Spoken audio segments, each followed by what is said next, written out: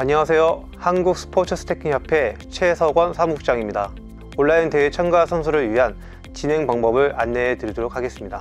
먼저 개인 stacking 컵과 매트, 타이머를 테이블 위에 세팅해 주세요. 카메라는 정면에서 선수와 매트 전체가 나올 수 있도록 촬영해 주세요. 경기 종목은 333, 363, 사이클 순으로 연습 1회, 본 경기 3회로 진행해 주세요. 경기 시작 전 명찰을 보여주세요. 경기 진행 카드를 준비해 주세요.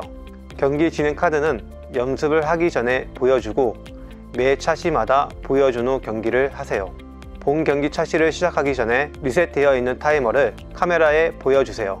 본 경기 차시가 끝난 후 카메라 앞에 타이머 기록이 잘 보이도록 3초간 보여주면서 기록을 말해주세요.